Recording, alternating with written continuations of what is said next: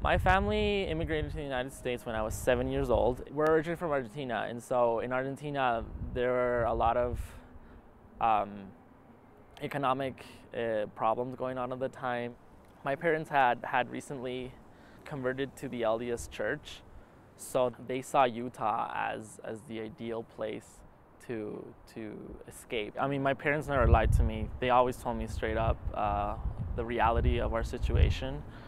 Um, growing up, I remember when I was in the fifth grade that I had I had a crush on on a person in my class.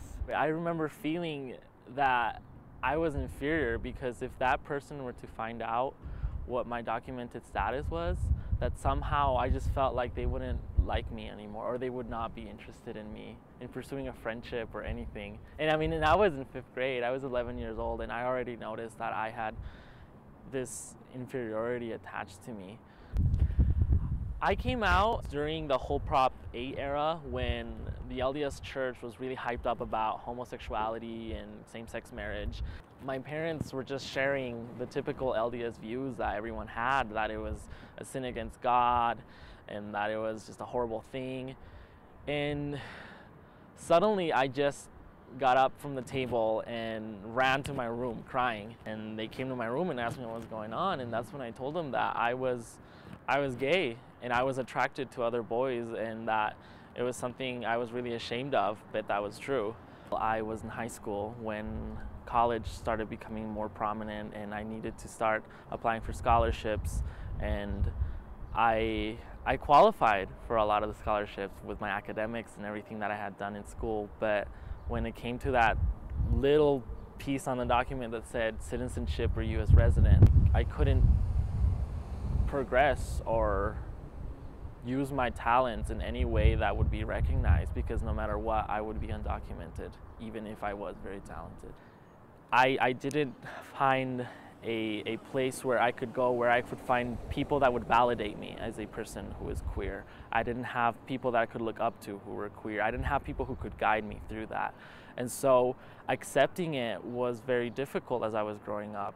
I was tired. I was tired of always hiding. I was tired of hiding that I was undocumented. I was tired of, of hiding um, the reality that I, I lived in a very very oppressive circumstances. I was tired of silencing myself. So when I got to college, I, I affirmed my queerness and I, I was proud to be gay.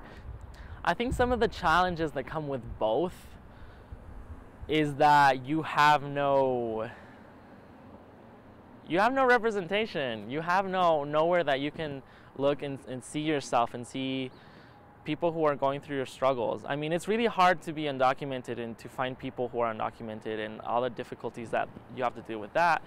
But put being gay on top of that or being queer on top of that and you're just kind of in this bind where you you really don't find any support. Even even places that offer help to LGBT specific communities, they're very white dominant and that they assume that everyone is middle class, white, and and a citizen.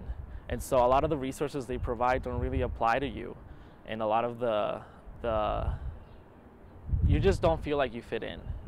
Um, so that's those are some of the difficulties you experience. I think there's a lot of undocuqueers here in Utah who are still silent about their queer part. Um, and there's a lot of moments when I've searched help from them, but they weren't really willing to guide me when it came to the queer part because they weren't ready to affirm it in themselves. Uh, so that's that's still a struggle I'm dealing with, trying to understand what it, how to be queer in a way that isn't destructive. I think that being undocumented queer really made me feel like I couldn't just sit there anymore. I couldn't just be silenced anymore. It gave me this, this energy to, to do something about the situation that I was living in and, and to, to speak up. I think the most important thing is to really love yourself. Love yourself first because when you're undocumented and when you're queer, you're gonna find a lot of people and a lot of messages hidden throughout society that make you feel like you're inferior make you feel like that you are a piece of trash.